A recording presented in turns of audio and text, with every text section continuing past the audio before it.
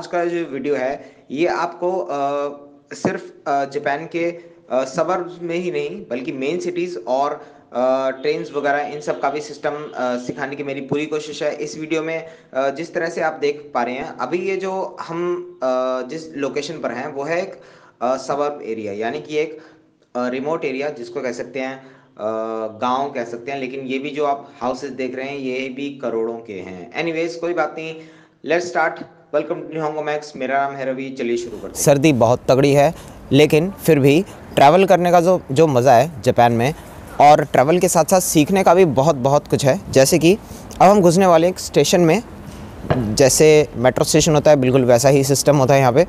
देखेंगे ये है पासमो कार्ड पासमो कार्ड जो होता है बिल्कुल मेट्रो स्टेशन में जैसे हमारे पास मेट्रो कार्ड होता है वैसा ही पासमो कार्ड होता है। आ, ये है ट्रेन का चार्ट जो कि एग्जैक्ट टाइमिंग बताता है किस टाइम पर कौन से प्लेटफॉर्म पर ट्रेन आएगी। सैटरडे संडे का अलग होता है और वीकडेज़ का अलग होता है। ये जो मशीन है, ये रिचार्ज मशीन है, इससे आप टिकट भी ख़रीद सकते हैं और इस कार्ड को इंसर्ट करके रिचार्ज भी करा सकते हैं।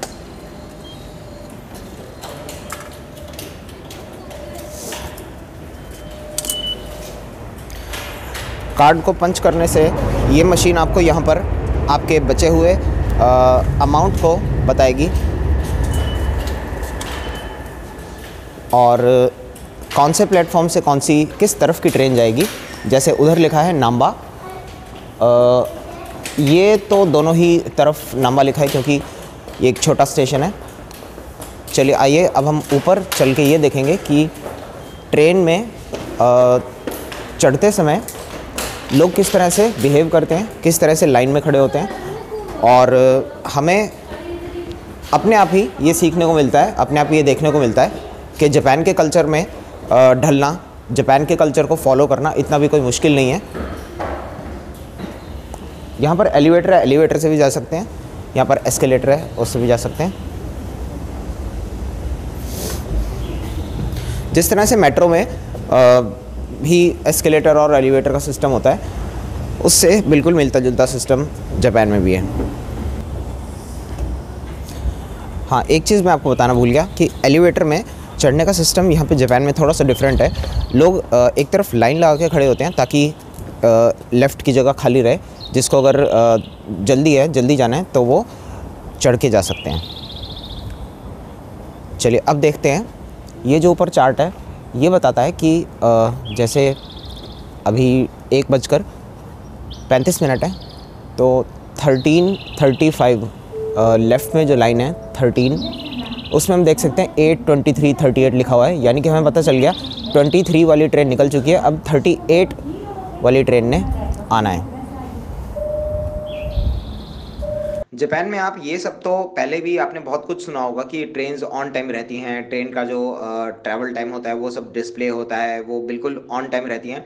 लेकिन फिर भी वो बहुत सारी चीज़ें ऐसी हैं जो कि आप जापान जाके ही ट्रैवल करके देख सकते हैं कि ट्रेन जो हैं सिर्फ़ ऑन टाइम ही नहीं, बहुत ही कंफर्टेबल भी होती हैं और उनमें बहुत ही क्रिएटिविटी भी होती है। जैसे कि एडवर्टीजमेंट्स की अगर हम बात करें तो वो बहुत ही अच्छी तरह से डिस्प्लेड होते हैं। जापान में जैसे ट्रेन से उतरने के बाद आपको हर जगह एकदम नई लगेगी। अलग अलग बिल्डिंग्स अलग अलग व्यू आपको दिखेगा। जैसे अभी हम पहुँच चुके हैं कोबे पोर्ट टावर के पास और कोबे एक बहुत ही बहुत ही ब्यूटीफुल प्लेस है। ये सानोमिया के पास पड़ता है। ओसाका से सिर्फ़ 20 मिनट की दूरी है और कोबे जो है किस चीज़ के लिए फ़ेमस है? ये है सी बीच और सी बीच के पास बहुत ही हैपनिंग प्लेसेस हैं बहुत ही अलग अलग प्लेसेस हैं। जैसे कि इस टाइम जो है हम एक आ, मतलब बीच की तरफ़ ही जा रहे हैं लेकिन एक आ, ऐसी स्ट्रीट को पार कर जा रहे हैं जो कि कार्स का शोरूम कह सकते हैं कार्स के शोरूम का लाइंड अप है। जैसे कि हमने बेंटले शोरूम वगैरह देखा है। अब हम पहुँच चुके हैं सी बीच के पास जो कि है कोवे पोर्ट टावर के बिल्कुल बिल्कुल सामने। और यहाँ पर बहुत ही बहुत ही ब्यूटीफुल व्यू है। सर्दी बहुत ज़्यादा है लेकिन शायद इसलिए लोग कम हैं। लेकिन ज़्यादातर जापान में कहीं पर भी आप जाएँगे तो लोग, लोगों की भीड़, बहुत ज़्यादा कुछ भीड़ वगैरह आपको नहीं दिखेगी।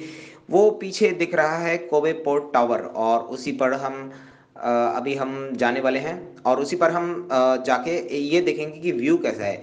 ये जो समुद्र है, ये पैसिफिक ओशन है। जापान जो है पैसिफिक ओशन और निहॉनकाई इन दो ओशन से घिरा हुआ है। कोबे के हार्बर लैंड और ये जगह जो है ये यहाँ पर इंडियंस पाकिस्तानीज़ और बांग्लादेश से भी काफ़ी सारे स्टूडेंट्स आते हैं। ये भी काफ़ी अच्छा टूरिस्ट डेस्टिनेशन है टूरिस्ट स्पॉट है।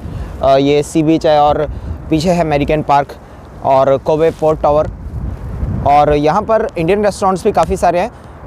यहाँ पर आपको अ, मसाले आटा और जो भी चीज़ें जो इंडियन कुकिंग के लिए ज़रूरी होती हैं, वो भी मिल जाएँगी और काफ़ी सस्ते प्राइस पर।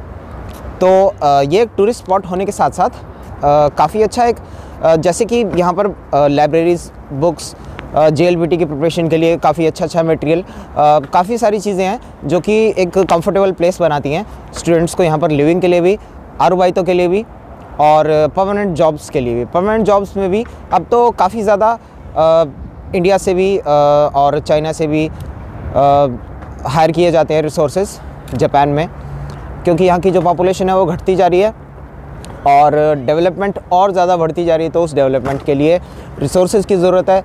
लेकिन लेकिन सभी चीज़ों के लिए एक स्ट्रॉन्ग जापनीज़ लैंग्वेज कॉन्वर्जेशन और कल्चरल बैकग्राउंड के होने की ज़रूरत होती है। तो इसके लिए एक साल कम से कम, जिसमें अपनी कॉस्ट को रिकवर करते करते पढ़ाई करें ये मेरी हमेशा रिकमेंडेशन है ऑल द बेस्ट अब हम आ चुके हैं कोवे पोर्ट टावर के बीच के फ्लोर पर मतलब काफ़ी ऊँची हाइट हमने ले ली है और लिफ्ट ने सिर्फ़ तीस सेकंड में ही हमें इतनी ऊपर पहुँचा दिया एनीवेज कोई बात नहीं अभी हम टॉप फ्लोर तक जाएँगे और उसके बाद अ, मैं आपको ये बताऊँगा कि कोबे जो है ये एक ओसाका तक का व्यू है पीछे जो पहाड़ देख रहे हैं वो ओसाका मतलब उन पहाड़ों के पीछे ओसाका है और टनल्स ट्रेन्स इन सब का बहुत ही एक strong communication I mean communicate commutation system है। और दूसरी बात कि कोबे पॉट टावर पे चढ़ के आप दूरबीन से भी दूर दूर तक देख सकते हैं। फ्रेंड्स अब हम आ गए हैं कोबे पोर्ट टावर के टॉप फ्लोर पर और यहाँ से व्यू जो है वो बहुत ही बहुत ही सुंदर लगता है। जैसे कि सी बीच है बिल्डिंग्स हैं और नीचे जो ये एरिया है ये अमेरिकन पार्क नाम का एरिया है। यहाँ पर पार्किंग भी बहुत बड़ी है और यहाँ पर इवेंट्स भी कंडक्ट होते हैं। यहाँ पर छोटे छोटे बच्चों के फेस्टिवल इवेंट्स भी कंडक्ट होते हैं। जो ये आपको रेड कलर का व्हील दिख रहा है, इसको कानरान शाह बोलते हैं। कानरान शाह का मतलब होता है, वो व्हील जो कि आपको पूरे व्यू का मतलब व्यू दिखाए और इस पर चढ़ना में थोड़ा सा डर लगता है क्योंकि चारों तरफ़ ये शीशे का बना होता है और जो लोग हाइट से डरते हैं, वो लोग इस पर ना चढ़ें। कोबे पॉट टावर जो है वो एक काफ़ी बड़ा टूरिस्ट अट्रैक्शन है और टूरिज़्म के पर्पज़ से भी लोग यहाँ पर आते हैं और इनफैक्ट छोटे छोटे बच्चों को ब्यूटीफुल सीनरी दिखाने के लिए भी मम्मी पापा यहाँ पर उनको लाते हैं। ये जो पहाड़ आपको दिख रहे हैं, इनमें एक रोकोमिची करके बहुत फ़ेमस जगह है जिसको मैंने भी आपको बताया था। और ये था मेनली कोबे का सबसे beautiful attraction Kobe boat tower. Thank you so much क्यों हम ऐसा कहते हैं कि ओसाका में ही एक स्टूडेंट को स्टडी करनी चाहिए? क्योंकि ओसाका जो है वो टोक्यो से भी ज़्यादा आपको टूरिस्ट अट्रैक्शन प्रोवाइड कराता है। और दूसरी बात कि वो सस्ता भी है, जैसे मैंने अपने पहले वीडियोस में भी बताया। तो फ्रेंड्स अगर आपको ओसाका से बाहर की, देखिए मैं तो पहले से ही ओसाका में भी रहा हुआ हूँ। मैंने स्टडी भी वहीं से करा है। जॉब भी वहीं पर करा है तो मुझे तो वो अच्छा लगता है लेकिन जैसे स्टूडेंट्स हैं वो कहते हैं मुझे नहीं सर टोक्यो जाना है।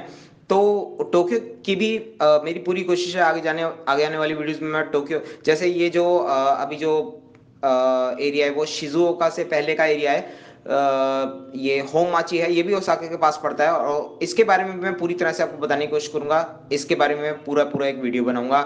So for the for this time all the best thank you so much